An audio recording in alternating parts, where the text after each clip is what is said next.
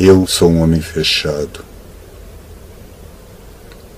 O mundo me tornou egoísta e mau, e a minha poesia é um vício triste, desesperado e solitário,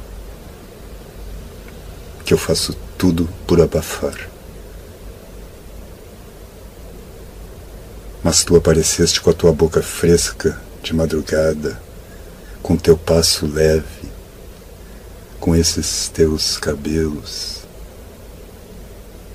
E o homem taciturno ficou imóvel, sem compreender nada, numa alegria atônita. A súbita, a dolorosa alegria de um espantalho inútil, onde viessem pousar os passarinhos.